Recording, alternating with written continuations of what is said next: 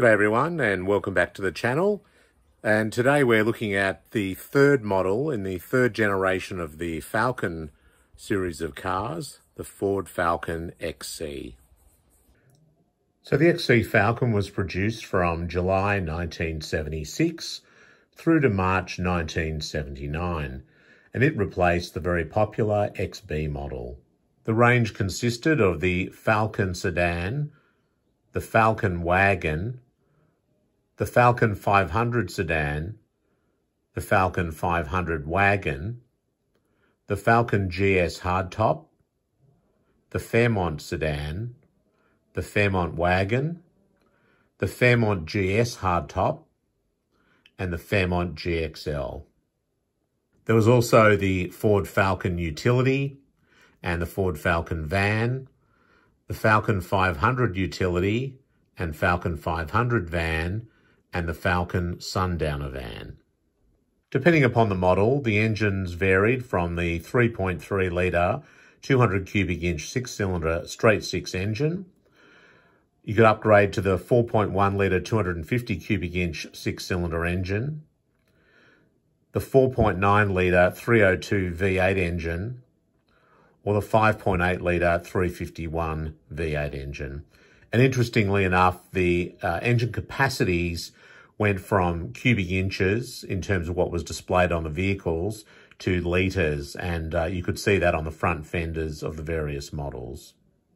The six-cylinder engines, uh, in order to meet the requirements of ADR 27A uh, emission standards, featured a cross-flow head, and this really did uh, enhance the performance and help offset the uh, the impact of those emission standards. And I would say that I think Ford did a better job on that than Holden did on the HX uh, models, where they really did suffer quite significantly in their six-cylinder engines as a result of uh, 27A.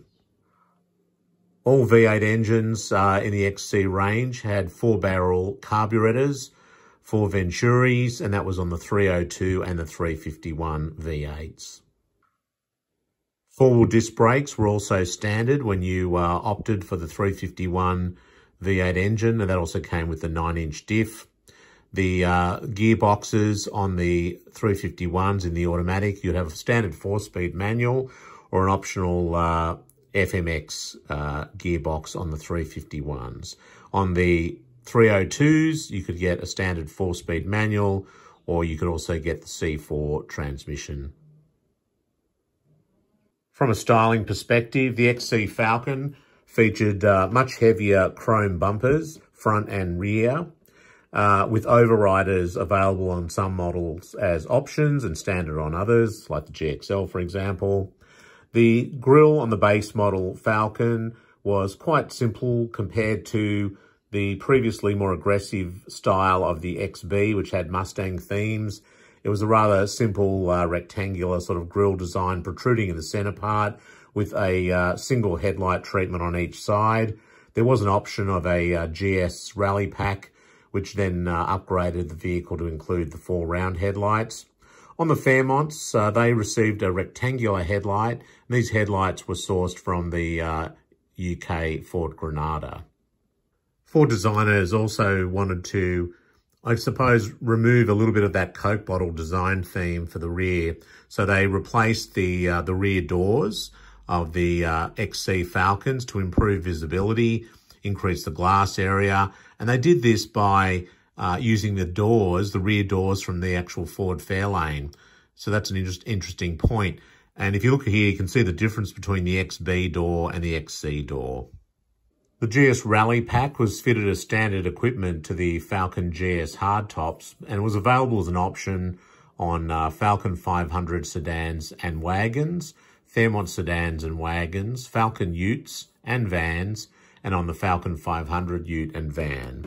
And this pack included uh, special paint treatments, uh, the bonnet scoops, the bumper overriders, the slotted steel wheels, enhanced instrumentation with a full array, of instruments, sports steering wheel, and the long-range driving lights. Uh, the driving lights were not included uh, in the pack when it was fitted to the Fairmont models because they had the rectangular lights. And the GS pack uh, really did dress the car up really nicely. The GT disappeared from the range, uh, and that uh, was the end of XB, and the Fairmont GXL replaced the uh, the GT. And the GXL had uh, blackout treatments around the windows, the grille, and the rear uh, area of the boot lid. It had uh, the bumper overriders. It had Volante alloy wheels, uh, available in a 4.1 litre engine, uh, optional 4.9 or 5.8. Uh, corduroy interior trim, unique door straps, full instrumentation with a padded treatment on the uh, on the dashboard. Uh, it also had a unique steering wheel, and these cars were really very nicely equipped, albeit you know not in the same, uh, I suppose, style as the GT. This had more of a luxury uh, uh, focus. The Falcon Sundowner van was also available. That was based on the Falcon 500 van, uh, but it was also fitted with uh, the GS uh, rally pack options. So it had things like the comprehensive instrumentation, the bonnet scoops, the driving lights, the um, you know the bumper overriders. Uh, you can also get color keyed bumpers as a as an option, but uh, and the um, either the steel road wheels or the Volante wheels, and also uh, quite a, an elaborate decal package as well. That was sort of towards the end of the panel van craze. In December 1977, 12 special build XC Falcon hardtops were released, all were beginning with uh, VINs beginning with JG65TE. And these were based on GS hardtops, but featured a homologation pack of additional parts that Ford persuaded CAMS that was now available as standard on GS hardtops. This was in order to include those parts on their race cars. And the pack included uh, front and rear spoilers, twin electric radiator fans, various body and steering braces for durability and stiffness, and a reverse bonnet scoop that supplied cool air to the engine via a circular hole on the bonnet. This homologation pack would also form the basis of the 30 Option 97 Bathurst Cobras the following year. And speaking of uh, Falcon Cobras, in August 1978, Ford Australia introduced a limited production of Falcon Cobra hard tops. This is really to get rid of the last of the the uh, the bodies that they had for the hard tops as that that model was coming to an end. And these were a high performance version of the XC Falcon hardtop. Only 400 were built, and they were fitted with the 4.9 litre V8 or the 5.8 litre V8 as well as 30 special 5.8 Bathurst editions. And the Cobra was the uh, the brainchild of Edsel Ford II, and he is the great-grandson of Henry Ford and grandson of Edsel Ford I and uh, the only son of Henry Ford II. And he worked for uh, Ford Australia as sales and marketing uh, director uh, during that period and he had seen uh, what Ford had done with the, the Mustang 2 uh, special editions and thought that would be a good way to uh, create a special edition to remove or move on the last of the 400 uh, bodies for the Falcon hardtop. During my time as uh, product planning and brand marketing manager for Ford Performance Vehicles, I took the inspiration from Edsel Ford II and released a series of uh, FPV Cobras in sedan and ute form. And these also sold out uh, extremely quickly and became real collector's items just as the XCs did. Each car was also individually numbered and that also, uh, I guess, set a theme for performance cars in Australia down the track. The XC Cobras were built in uh, batches from uh, July through to September 1978. All Cobras from number 2 through to 31 featured the uh, the black shield seats, bucket seats, and Cobras from 32 through to 400 featured a distinctive uh, black and blue uh, seat, which was, uh, so it was interesting how there was two variations there uh, within the build cycle. The XC Cobras were initially painted all bold blue and then masked up uh, where they laid the snow white over the top. So they weren't white cars with blue stripes, actually blue cars with the white highlights. All Cobras were based on the Falcon 500 GS hardtop, Uh, and they were also included uh, forward disc brakes, limited slip diff, dual exhaust system, tinted band laminated windscreen, and to this you could add additional options. 400 Cobras that were built, which uh, had option 96, included front spoilers, vacuum formed. Uh, the Bathurst cars had fiberglass spoilers at the front, a rear spoiler of fiberglass, um, colour keyed bumpers to match the exterior striping. Uh, the body side protection mouldings were deleted, and also the quarter panel, uh, the dummy air scoop on the uh, the rear quarter panels was also deleted. The cars also had tinted uh, rear windows and 15 by 7 Bathurst Globe alloy wheels. Cars featured the Cobra name decal uh, mounted on the uh, the boot lid on the right hand side above the tail light the uh, Cobra Snake decals were on the fenders, and also a die-cast plinth carrying the uh, Cobra name decal was mounted on the glove box door. And then all cars were numbered from 1 to 400. There are a large number of other uh, technical specifications which also were um, made to many of the Cobras. I won't go into them all here, but safe to say it was a really outstanding looking package and it certainly gained a lot of um, you know, attention in the media and the public alike. A limited edition of interest was the Allan Moffat Special. In 1977, a limited number, 500, of Falcon 500 sedans were marketed as Allan Moffat Specials. And these cars received uh, XB GT style blackouts and a sticker on the front doors consisting of Allan Moffat's signature and uh, an Australian flag, as well as other options such as the GS Rally Pack and sports handling suspension as standard.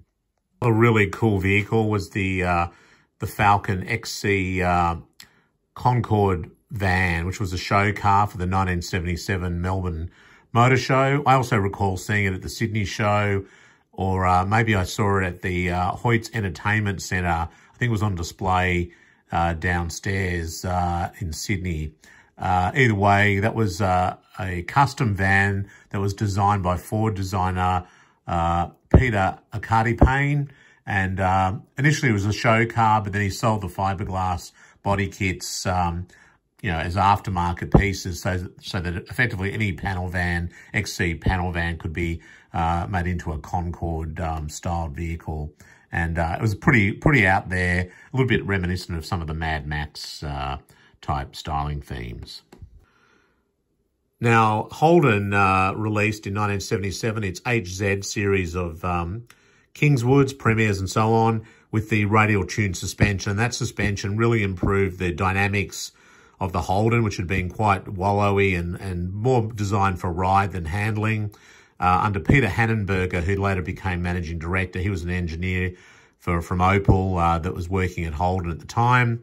And uh, Holden produced a rather scathing uh, TV ad uh, that you can see here that um, really showed the the uh, the handling comparison between the Holden and the Chrysler and the Falcon in particular, but also things like the 240K, and showed the uh, shortcomings of the opposition compared to the Holden. Now, I'll leave it to you to look at the entry position of the Holden at the first witch's hat to the other cars, but um, certainly Holden uh, was showcasing its uh, vastly improved handling prowess. Now, Ford wasn't going to take that lying down, so in May 1978, they released a Series 2 uh, XC range, which uh, featured uh, an anti-sway bar at the rear, beefed up front sway bar, and also revised spring rates to substantially improve the handling. If you wait till the end of this episode, you'll see the TV ad that Ford uh, did to combat the Holden ad. Total production of the Falcon XC range reached 171,082 vehicles prior to its replacement by the XD, which was released in March 1979. Look out for an episode on the XD Falcon. Well, I hope you enjoyed that episode on the Ford Falcon XC. Make sure you uh, check out the previous episodes if you haven't already from the XK right through to XC, and there'll also be uh, upcoming episodes on uh, all the model Falcons as we go forward. So anyway, thanks again for watching. Please be sure to give the episode a, uh, a like And also make sure you uh, hit that subscribe button in the lower right hand part of the screen. And we'll see you next time. Thanks very much. Bye. You are about to see a compelling demonstration of a genuine automotive engineering breakthrough. This is new Holden Kingswood SL, equipped like no previous Kingswood, with radial tune suspension. Watch it through this snaking S. Smooth, safe, with a minimum of lean. Average speed, 75.96 kilometers per hour. Now watch some competitive cars. Same test, same driver. Chrysler CL Valiant. Toyota Cressida.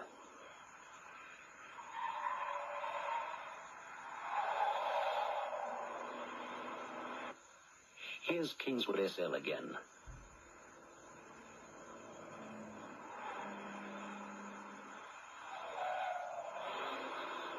Now XC Falcon 500.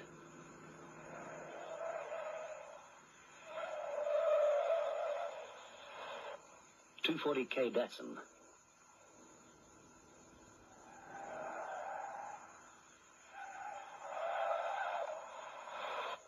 TE Cortina 6.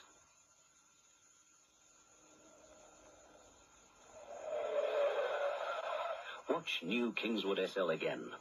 Holden's stabilizer bars and suspension components are matched to the steel-belted radial tires. The radial tune suspension badge means safety and confident road holding.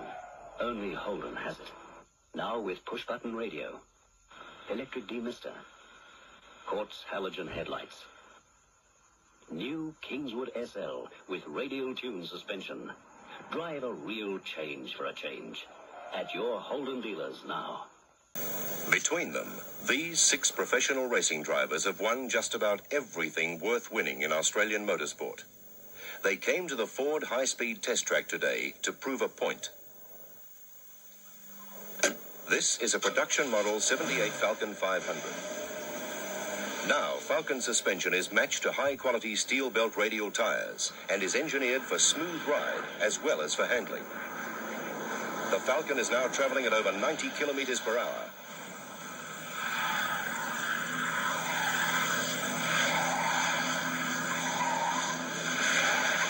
Once again. And the point we're making is that no matter how a car looks when it's driven around witches' hats, it's how a car performs when your life's at stake that really counts. We never felt better about Falcon. And Falcon never felt better.